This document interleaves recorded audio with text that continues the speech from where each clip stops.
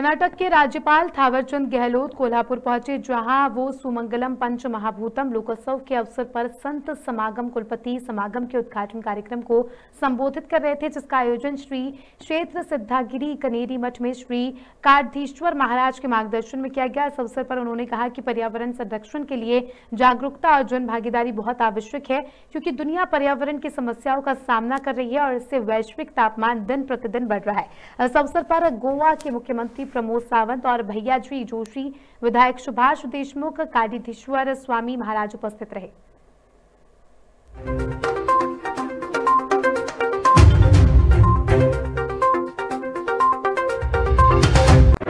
प्राचीन काल से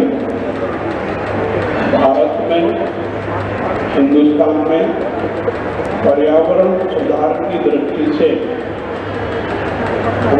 संतों ने ऋषि मुनियों ने, महापुरुषों ने अनेक कठोर और सक्रिय प्रयास किए। और पर्यावरण की दृष्टि से भारत का पर्यावरण सुदृढ़ था, मज़बूत था। अनेक पीढ़ियाँ गुजर जाने के कारण जो नई नई पीढ़ियाँ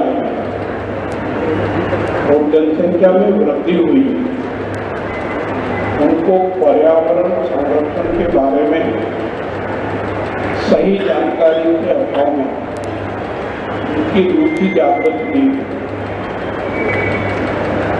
और फिर नई पीढ़ी में टेक्नोलॉजी की पढ़ाई करके